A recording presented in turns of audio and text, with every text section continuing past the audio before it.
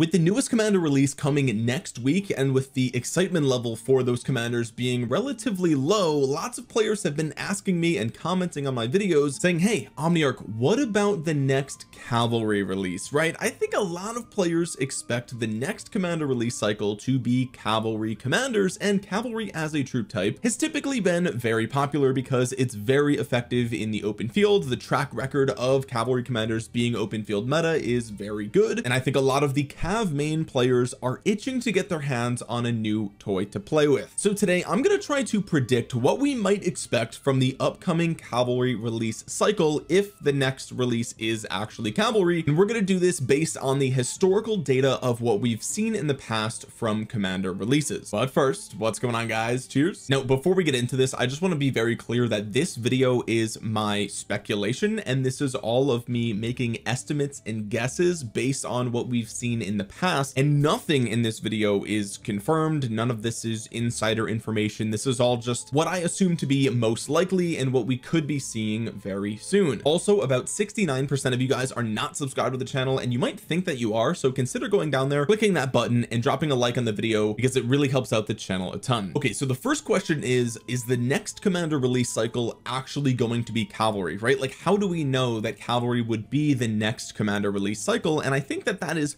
pretty I think it's pretty clear based on the historical release cycle of commanders and I'm just going to pull up a quick document that I've made recently and as you can see here we do have a trend okay? We do have a trend here and I think going all the way back to 2021 the beginning of 2021 when we saw um, Moctezuma and Trajan come into the game that was a leadership cycle. Then we saw cavalry infantry archers leadership. Cavalry infantry archers no leadership interesting cavalry infantry. Oh we should see archers but instead then we got the leadership and engineering commanders. Then we see the archers that we expected to see here and then we see cavalry infantry archers leadership and I think cavalry is the next in line. So I think that there's a very good chance that the next commander release cycle could be cavalry. So if we assume the next release cycle is going to be cavalry when can we expect these commanders to come into the game? Well what we know already is when the newest commanders are going to be coming into the game. So Lapu Lapu is a mightiest governor commander. He's going to be coming well the mightiest governor will start in three days but it lasts for a few days as well. So we're going to be getting Lapu Lapu about next week which means this upcoming Tuesday is going to be a wheel of fortune which will likely include Gonzalo de Cordoba who is confirmed to be the wheel of fortune fortune commander. Now if you guys didn't know Gajah was also announced and he looks like he will be an event commander if you guys haven't taken a look at that. I suspect that his event will come around the same time that we get Gonzalo and that we get Lapu Lapu. We know that update 79 is already scheduled to be released on the 26th and the wheel of fortune is released on the 27th so I expect that the special event for Gajah will probably be in this surging spring event and I wouldn't be surprised if the fishing event that we saw kind of discussed a few months ago and also teased here in this bullet point. Maybe Gajah is a commander that we can unlock from the new fishing event. That's totally possible. I mean we see that he is an event commander. He also could be part of a, maybe a bundle right? You just buy a bundle you get an unlock for him. It is what it is. But the reason that these dates are important is because it's going to help us understand what the commander release windows are. Now if you guys have been paying attention to my channel for the past couple of months I've mentioned how most of the time we see a commander release between 56 and 84 days apart right? 56 being usually the fastest we ever see new commanders. In fact the only time that we've seen a commander faster than that was the release of Gilgamesh and Amanitore which came 42 days after Pakal and Chuk which is actually insane. I wasn't even really paying that close attention back then but some of these dates aren't perfectly accurate right? Because as you guys know the Mightiest Governor Commander and the Wheel of Fortune Commander they're the first day that they're unlocked isn't the exact same day but I like to just keep it all even because I, I that's just how my brain works. The two commanders are released at the same time even though one of them is a couple days later but you guys get the drill. Okay so if we do some math here we can see what the release windows have been in the past. The early release of Liu Che as part of an event kind of messes this up a little bit which is why it seems like it's so long between Herman Prime and Liu Che 100 days right? But really it was about 63 64 days between the mightiest governor commanders. Regardless Lapu Lapu and Gonzalo de Cordoba Are going to be coming if we expect them next week which we already see in the Mightiest Governor then they're going to be coming at the 56 day release window which is very fast. That is basically the fastest that we would normally see a new commander. And if we go back through the data here there's never been a time where they've done a 56 day release window back to back right I don't see that at all throughout all of rise of kingdoms history going all the way back to the beginning of 2021 of course I realize there were commanders released before that right? But I don't have perfectly accurate data and also I wasn't like a whale back then so I wasn't collecting all them myself so I can't even check on my own account. But I think it's fair to say that we probably won't see the next commander release cycle being cavalry in 56 days from the launch of Gonzalo and Lapu Lapu. And I would say most likely and what is basically the average is about 70 days right? It's usually about 70 days that is 10 weeks in between the release of new commanders. And so if we assume that that is the case then I think the most likely day that we would be getting our hands on these new cavalry commanders is on May 7th that I think is the most likely. Again of course the Mightiest Governor Commander will be a couple days after that when the Mightiest Governor is concluded. But if by some weird change of heart or change of fate they do decide to do a 56 day release window then the soonest we would see them would be April 23rd and the latest we would probably see them would be on May 21st that would assume an 84 day window which if we look through history we do see 84 days is a relatively common uh, release window for commanders right? Um sometimes we see 98 like in the in the 90s there we saw uh, 92 for Gorgo right? And again I want to be very clear these dates are rough estimates so like they might be off by a day or something like that. But just to give you guys an idea I think the beginning of May is the most likely time that we'll be seeing these new cavalry commanders. And of course one of them will be a wheel commander one of them will be a mightiest governor commander and that is assuming a 70 day release window. Okay so then your next question might be what are the talent trees going to be for these commanders right? Well we already know one of them. It's probably going to be cavalry. And are we going to be seeing a support tree commander a skill tree commander? Are we going to see rally or garrison? Well I'm glad you asked because if we take a look at the data from the history I think that we're going to be seeing one garrison commander and one open field commander. And why is that? Well if we look at the previous commander release of Justinian and Huo we got a rally commander and a fielding commander. And if we look before that we got Jan Zizka with Joan of Arc Prime which was a garrison commander and a field commander. And if we look at the release before that we saw Bertrand and Nevsky. One was rally one was field. And if we look before that we saw Jadwiga and Xiang Yu. One of them was garrison and one of them was rally which kind of breaks the trend that I was going for there. But I think you guys get the point. Typically the mightiest governor commander for any troop type will alternate between garrison rally garrison rally garrison rally. And since the last commander release for cavalry was Justinian as a rally commander I think this time one of them is going to be a garrison commander. I think that's pretty straightforward right? I, I can almost guarantee you that right? Like it's it seems like that's been the developers uh, intention the entire time. And that trend you know if you go through here and you do the same thing for archers for example Ashurbanipal was rally Dido was garrison Henry was rally Amanitore was garrison. Same sort of trend here. If we look at infantry Pakal was rally Flavius was garrison Tariq was rally Gorgo was garrison. So you know we can kind of apply that same logic to the cavalry here. So I think guaranteed we're going to be getting a garrison commander and most likely we're also going to be getting an open field commander which typically has the versatility talent tree which is basically garbage. It doesn't do anything. The only exception to that was with the Xiang Yu like I said before but we haven't seen that trend break in a very long time. Amanitore in Gilgamesh back in August of 2021 was the last time that we saw a garrison and rally come at the exact same time. So I think it's unlikely that we'll see a garrison and rally commander come again. The only exception to that would be if the developers feel like the garrison meta is just too strong right now then they may release a garrison and rally commander at the same time to kind of like change up the meta but again I think the probability of that is very low right? Very very low. I think we'll we will we're almost guaranteed to be getting a open field commander and a garrison commander for the upcoming cavalry release. Okay then the question becomes what can we expect from the active skills of these upcoming cavalry commanders? And this is where the data starts to fall apart a little bit but I can give you guys my best guess. And I think if we look back at the most recent cavalry release we got Justinian and Huo both of which were single target damage commanders. Previously we got Jan Zizka which was a single target and an AoE and before that we got Bertrand and Nevsky both were single target. And before that we got Jadwiga which was single target and AoE so it seems to be the case for cavalry that every commander release cycle will have at least one of them being a single target commander and the other one alternating between single target and AoE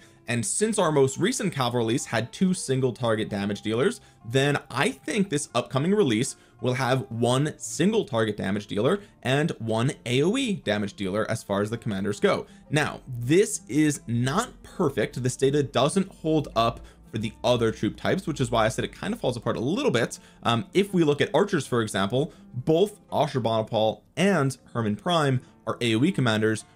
Prior to that Dido and Zhuge Liang was single target and AoE prior to that we had Henry and Boudica which was single and single. Prior to that we had a Amanitore and Gilgamesh which was single and single. And then Nebu and Cyrus was single and AoE although I know Cyrus has some you know some AoE built into his kit. But if we look at the infantry releases it kind of follows that same strategy as well because Gorgo and Liu Che was single target and AoE then Tark and Sargon were both single target damage Flavius and Scipio were single target and AoE and then Pakal and Chuuk were both single target damage although again Chuuk had some little bit of tiny AoE built into the kit there. And then we had Zenobia and Harald which was a little bit different because you know Harald switches from single to AoE so the data doesn't fully go all the way back to 2020 but I think that it is a safe assumption that one of these commanders is going to be single target damage the other one is going to be an AoE damage dealer. That is my best guess here based on the data okay and if you look back at the trends then typically the commander that is the single target damage dealer that never changes for cavalry and for infantry at least is always either the garrison or the rally commander right? If we look back at the infantry and cavalry release cycles we'll see that for the infantry garrison it was single target for cavalry rally it was single target for infantry rally it was single target for cavalry garrison it was single target for infantry garrison it was circle tar single target for cavalry rally it was single target. For infantry rally it was single target. For cavalry garrison it was single target. So based on that trend I think that the upcoming cavalry garrison commander is going to be a single target damage dealer right? Again this is based on the historical trends of what the developers have done. This does not mean that that's what they're going to keep doing right? Past performance does not guarantee future results right? I'm sure a lot of you are familiar with that saying. And since it seems very likely that the garrison commander single target and since it seems very likely that we will get a single target and an AoE commander. Well then by that logic the open field commander for cavalry is likely to be an AoE damage dealer. Okay so now we are getting somewhere. So far all of these assumptions I think have a lot of historical data to suggest that it could be the case. Then the question becomes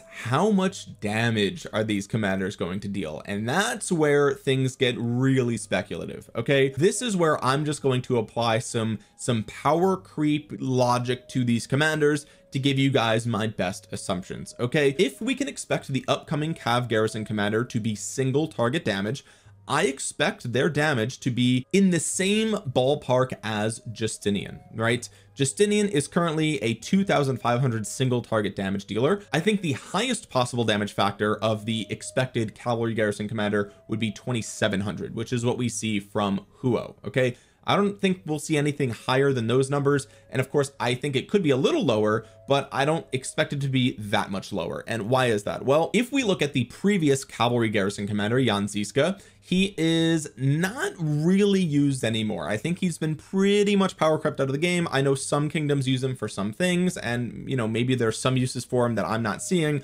but if we look at the damage factor from Jan Zizka his expertise gives him 2400 to a single target. Then if this commander is less than 50 percent units remaining you deal an additional 300 AoE right so I think that 2400 if it's going to be if we if the upcoming cav garrison is is single target I think 2400 is the floor because we're already seeing an instance where the previous garrison does 2400 plus an extra 300 so 2700 now of course the damage dealt by the active skill isn't determined by just the number alone. Of course the active skills typically do other things these days. For example Justinian has like this massive wall of text here. Jan Zizka kind of the same thing right? The expertise gives you bonus damage. So really you know the damage factor of that active skill is going to depend on what else the active skill is doing. You know if there is a powerful debuff there if there is some built-in like extra damage uh, to the rally or something like that there's a lot of moving parts here. And this is where like we're entering into the woods. We're entering into the weeds. I have no idea. I'm shooting in the dark here okay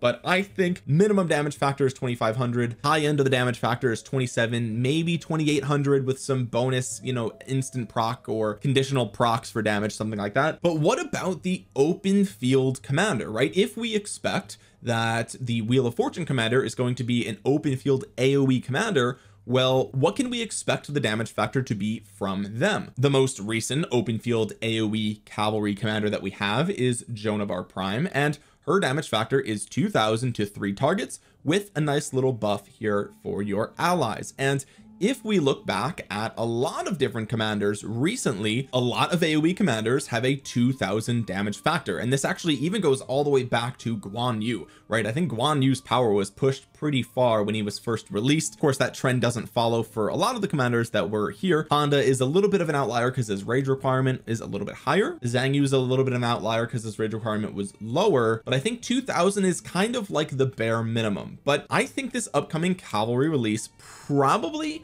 won't have a 2000 damage factor AoE unless we see two different things. I think if it's a five target AoE then it's probably not going to be higher than 2000 if it's a three target AoE then it would only be 2000 if it did something else really powerful just like Joan of Arc Prime right? Joan of Arc has a little bit of a buff there. She also has the double cast of her AoE which is insane. Then the question becomes is this new expected commander going to be a three target AoE or a five target AoE right? Well if we look back through history cavalry has never gotten a five target AoE in fact cavalry didn't even have an AoE commander until 2020 when they released William and it was that rectangle shape right so every single cavalry commander that has ever been released has been a three target AoE so I think it's likely that the expected cavalry commander for the open field if they're going to be AoE will probably be a three target AoE as well. Now if you look at some of the more recent commander releases that aren't cavalry then you're going to notice a trend of five target AoE right?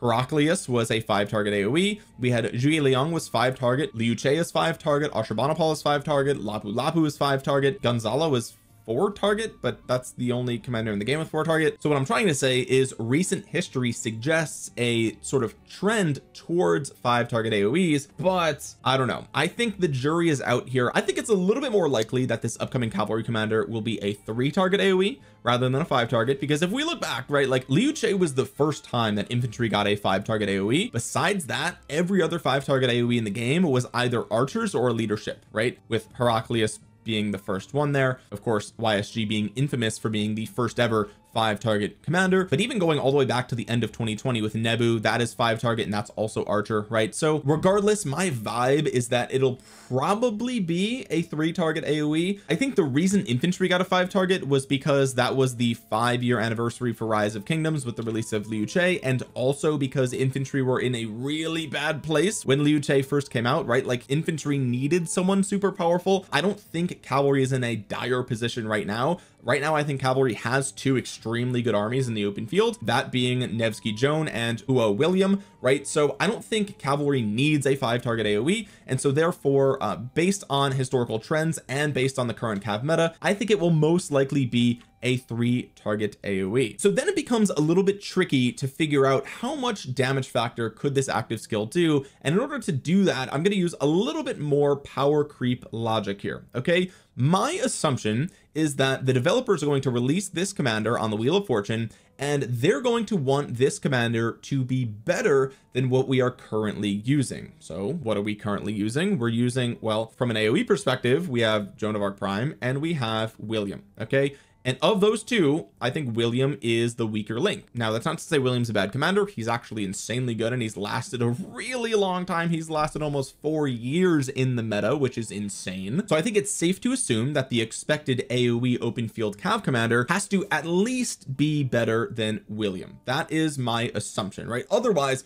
players probably won't spin the wheel of fortune and honestly we're already going to see a wheel of fortune that players probably aren't going to be spinning for right? I had this mislabeled here but I think Gonzalo is probably not going to be a commander that players spin the wheel for a ton right? And if we're being honest the wheel of fortune costs gems. Lilith is a business right? And so I think that if they know that Gonzalo is not going to get a lot of spins which I think they probably know that then they're probably going to put a pretty good commander on the caval wheel that will get players to spin. So how much damage factor does this new hypothetical commander have to do to be better than William? Well the thing about William is that he actually deals a lot of damage. Um, he has a 1500 AoE to only three targets and that's not very good especially because it is a rectangle. So the probability that you miss some targets is higher with William than it is with virtually any other commander except for maybe Mehmed right? But if you have him expertise he also has a 10 percent instant proc damage of up to 1500 okay so even if you only hit a single target with this if at some point during that that skill cycle you instant proc the 1500 then that's 3000 damage factor in that skill cycle. Now of course that is assuming that you get the maximum amount of stacks from the instant proc damage right? But if we extrapolate that best possible case scenario for a two target AoE hit then you could expect about 4050 damage for that skill cycle and we could do the same thing for three targets and you would see approximately 4750 damage factor for a skill cycle where you hit your instant proc with the max troops surrounding and you hit your max three target AoE this is again napkin math very rough making assumptions whatever. But by doing that we can kind of assume okay well first of all that's a lot of damage for such an old commander right? That's actually kind of insane. William has been so good for so long. But we can use that damage factor to kind of figure out what the damage factor might be for this hypothetical new AoE commander right? And since I think it's most likely that it's going to be a three target uh, AoE then I think the damage factor will be anywhere from 2100 to 2300 for a three target AoE that would be pretty powerful which if the damage factor is 2100 that would put the hypothetical max damage factor for hitting three targets at 4551 now I know that's a little bit lower than William but you have to keep in mind that this new commander could do some sort of buff or debuff on top of that and it could have a fan shaped AoE it could have a half circle AoE now we've never seen a circular AoE on cavalry so I don't think we'll see a circle uh, AoE and also all the circles in the game are five target and I don't think they'll be five target. So I think it's most likely that this commander will probably be a three target fan shaped AoE and that means it'll be more likely to get its maximum damage and also it won't rely on instant proc to get the maximum damage so it would make sense that this would be slightly lower than the max possible damage from William but also it doesn't have to be 2100 right? We could change the number in the formula here to make it 2200 and all of a sudden now it's definitely going to be better than William every single skill cycle right? So I mean hey it is what it is boys. We could see the 2200 and honestly we saw 2250 from Liu Che so we could see 2250 for this new cavalry AoE I also want to be clear that this is assuming that each additional target reduces the damage by 15 percent which is kind of the trend. We've seen that pretty often. But again we're making assumptions of assumptions at this point. I think 2000 would be the very minimum and that would assume that they would have a really powerful buff or debuff. But I think anywhere from 2100 to 2300 is definitely possible. The other thing that could influence this would be if it was a lower rage requirement right? We saw that obviously with Gorgo. We saw that with Huo. We saw that with Xiang Yu. We saw that with Genghis Khan right? Now we don't see that for every cavalry release and because the most recent cavalry release had it I think this cavalry release probably won't. I think this commander will probably be a 1000 rage requirement commander. Again that is my assumption based on just game logic and understanding the game for the past five years. So if the damage factor is on the lower end expect a good buff and debuff. If it's on the higher end expect more of a vanilla damage factor. But I do expect this upcoming cav commander to be better than William. Now all of this data is based on the assumption that these will be skill damage commanders. And guys it could be the case that we see a smite damage cavalry release. If we see that then all of my logic in this video kind of goes out the window right? I think it could follow the same trend or it could follow another Attila Takeda trend where we see something crazy done with normal and counterattack damage. Now we didn't see smite damage on the most recent release for the archer release but we could definitely see a smite damage cavalry commander in which case I have no idea if any of my predictions in this video are going to be true. Now the final thing that we're going to talk about in this video is who could these commanders be right? And I don't really think there's that much historical data that we could use to guess this right? It could be literally anyone. We have a, a vast history of commanders to pick from. We could use a little bit of logic to assume that it probably won't have the same civilization as the most recent release. For example I think it's less likely that we see a Chinese commander this release. I think it's less likely that we see a German commander this this cap release right? Uh, just because we saw like Herman and Liu Che recently. Also Huo was also a Chinese commander. So I think we can sort of rule those things out maybe but again that's just my gut feeling. That's just my vibe check. I think that the developers kind of like to switch things up a little bit to give more variety to the commanders which I think is definitely true with Lapu Lapu Gajah Mada and Gonzalo for sure. Probably the most diverse release window we've had in a while. But I'm just gonna throw some names out there for commanders that I think could be coming to rise of kingdoms. And again this is not a leak. This is not this is not insider knowledge. This is literally just my best guesses okay? I think King Arthur is very possible. I think Oda Nobunaga is very possible. I have Vlad the Impaler is on my wish list. William Wallace is definitely a commander a lot of people want. I think Hattori Hanzo is one that I've been asking for for a long time. I think a lot of players have been asking for King Baldwin the fourth of Jerusalem. That's the leper king with the silver mask. I think Hammurabi could be a, an interesting choice. I think Manco Capac probably pronounced that wrong but I think that is a famous Incan hero. I think that would be a very very good choice to add especially if we're getting Mayans released in the summer which again is a is a guess that's not confirmed but I do think that the evidence points in that direction. I know Mayans and Incans are different things but I think if we're looking at South and Central America maybe that could be a correlation there like it's adjacent. There's also Siegfried the ancient German hero that I think is like known in mythology to have killed a dragon or something like that. There's also King Louis the ninth of France. I think that's very possible as well. There's also King Tut as well King Tutankhamun from Egypt. Very famous Egyptian pharaoh. I think all of those commanders are possible some more likely than than others. A few commanders that I think are unlikely to come to rise of kingdoms literally ever I think we'll never see Gandhi. I think we will never see George Washington. I think we will never see Peter the Great from Russia. Why do I think that? Well if you come into your city hall here you can take a look and city hall 25 the highest city hall level is within the feudal age right? So the feudal age ended between 15 and 1600 depending on when you know if you're looking at Europe or if you're looking at Japan for example. I think in Japan it went to like 1600 now I haven't gone through all the commanders in the game but I think the year 1600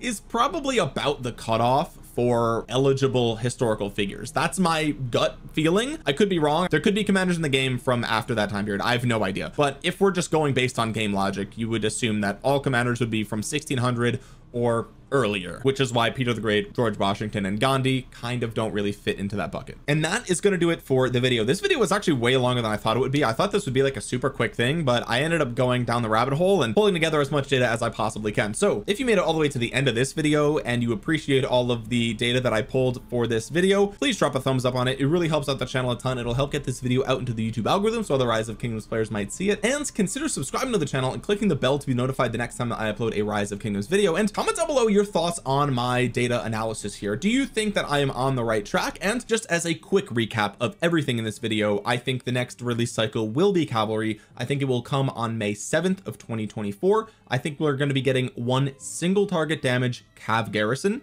and one AoE damage cav open field commander. I think the garrison commander will deal between 2500 and 2700 damage to a single target I think the AoE commander will be a three target AoE with a damage factor of anywhere from 2100 to 2300 guys with that being said thank you so much for watching. This has been Omniarch. I will talk to you guys again soon. Peace